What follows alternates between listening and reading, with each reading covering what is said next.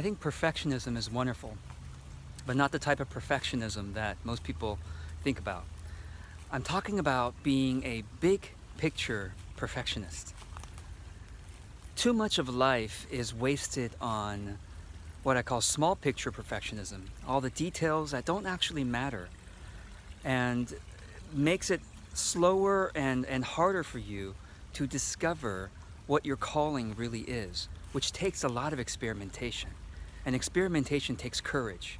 And courage, in my experience, takes a big picture perfectionism, which means taking a step back and looking at the bigger picture of life, the greater view of life, and realizing that the process you are part of is actually perfect.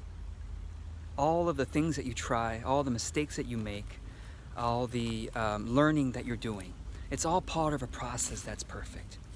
And also another part of big picture perfectionism is realizing that in the big picture, you are truly going to be taken care of at a profound level that you don't even realize, but you are going to be okay.